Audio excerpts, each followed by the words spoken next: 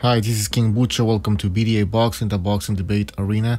So I'm reading this article that's talking about Crawford and Spence. And, uh, well, basically, Bob Arum says that he's willing to make the fight. He also says that, you know, in the past, big networks have come together and made big fights possible. So why not ESPN and Showtime coming together? But anyways, uh, so uh, he's saying that he's willing to make the fight. The point of this video is to ask Spence fanboys why we shouldn't believe Bob Arum.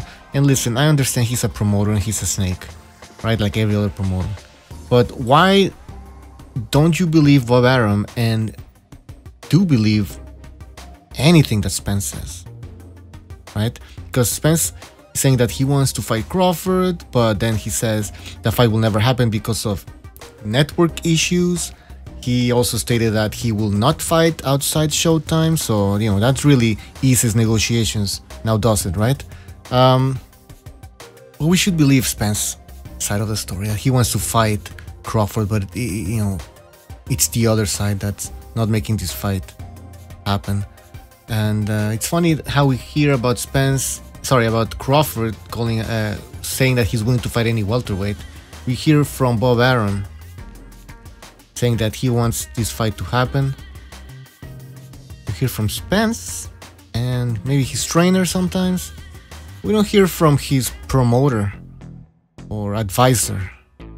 So I'd like to hear from the, from him or them or whatever entity, you know, controls Spence's career or manages. Yeah, manages. I should say manages because Spence is in full control of his career, of course. But anyways, I'd like to hear from from his promoter. We never hear from any from the PBC when it when it comes to the PBC. All we hear is the fighters talk shit, but we never hear anything from the the promoters. Maybe only during the Wilder Joshua debacle we hear from Shelly Finkel comment here and there, but that's pretty much it. When it comes to other fighters, we never hear anything from. We maybe hear from the Watsons, but who the fuck are these guys, man? Eh, they're not the promoter. They're not the advisors. So, yeah.